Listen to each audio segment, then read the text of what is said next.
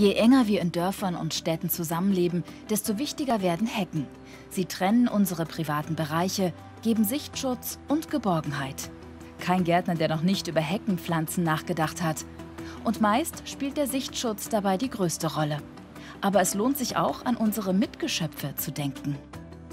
Denn für Heckenbraunelle, Zaunkönig und Co. sind Hecken überlebenswichtig. Tiere nutzen sie als Verkehrswege, Vorratskammern, Kinderstuben und Schlafzimmer. Aber das alles können sie nur sein, wenn sie bestimmte Voraussetzungen erfüllen. Unter einem heimischen Feldahorn modern die Blätter und es ist feucht und lebendig. Hier findet eine Erdkröte genug zu fressen, um über den Sommer zu kommen. Regenwürmer, kleine Schnecken und Asseln zersetzen die feuchte Streu und sind Nahrung für Igel, Kröten und Vögel. Anders sieht es unter dem türkischen Kirschlorbeer aus.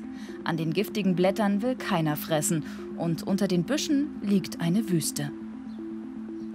Auch die hübsche Forsythie gibt nichts her.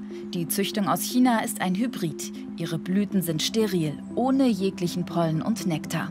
Blütenbesucher kommen umsonst. Nach dem langen Winter brauchen viele Insekten aber nährstoffreiche Nahrung. Die süß duftende Heckenkirsche bietet Hummeln und Bienen ein leckeres Menü, das sie für den Aufbau ihrer Völker dringend benötigen.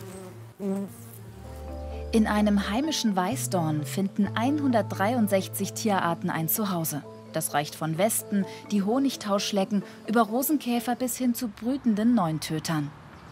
Eine Thuja-Hecke hat ähnlich viel zu bieten wie ein Plastikzaun. Außen grün, aber innen lebt nichts. Hier können sich Vögel höchstens mal verstecken. Bei der Kükenaufzucht hilft ihnen die Thuja-Hecke nicht.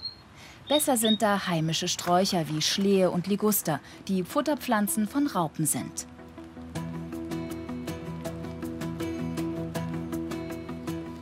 Der wollige und der gemeine Schneeballstrauch werden oft von Blattkäferlarven befallen. Das sieht zwar nicht schön aus, hilft aber unseren Vögeln bei ihrer Brut. Ähnliches gilt auch für die lästigen Blattläuse. Ohne sie würden die frisch ausgeflogenen, unerfahrenen Meisen verhungern.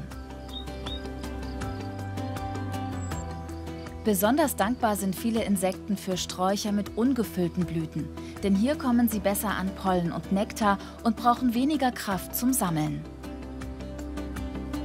Mit alten Sorten und heimischen Sträuchern können wir ganz einfach vielen Tieren helfen. Das wiederum hilft auch uns, denn wo sich viele Arten tummeln, können auch Schädlinge nicht überhand nehmen. Irgendwo lauert immer einer, der sie frisst. Schwupps war die Kröte weg, also Hecken, was sehr nützliches im Garten. So nützlich